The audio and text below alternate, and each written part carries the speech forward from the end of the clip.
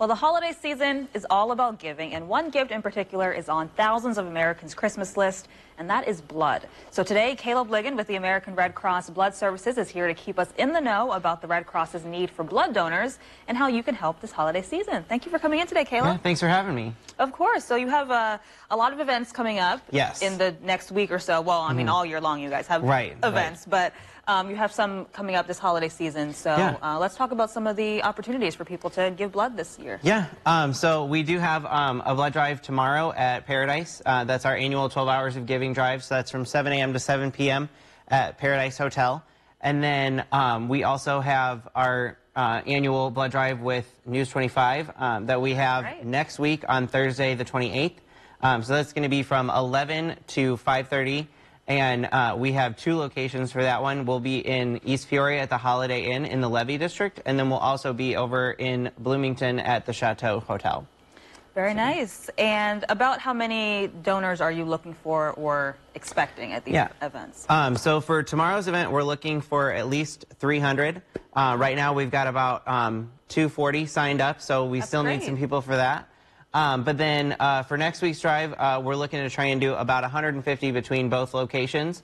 Uh, and right now, I think we're at about 50 appointments between both locations. So still have a little bit of ways to go for there, but uh, encouraging anybody and everyone that is able to donate to come out. Uh, even if you've got your family in town, we'd love to have you bring your family, make that a holiday tradition to right. donate blood together. Oh, I love that. That's that's wonderful.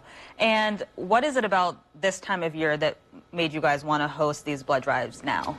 Yeah, so obviously the holidays are about giving back and um, helping others, but then uh, another part of it too is because of the hustle and bustle of the holiday season, a lot of our normal sponsors aren't able to host blood drives, and a lot of our donors are a little busy, and so we try to have some of these specialty drives, um, bigger event drives, to help make up for the losses that we're getting from the lack of some of the drives that we would normally do throughout the rest of the year. Right, right. And it's so good to hear that you're so close to reaching your goals for both of yes. these drives. So it's really um, inspiring to hear that people are going to take time during their holiday to give the gift of life, which is yeah. one of the best gifts you could give someone. Yeah. So that's, that's wonderful.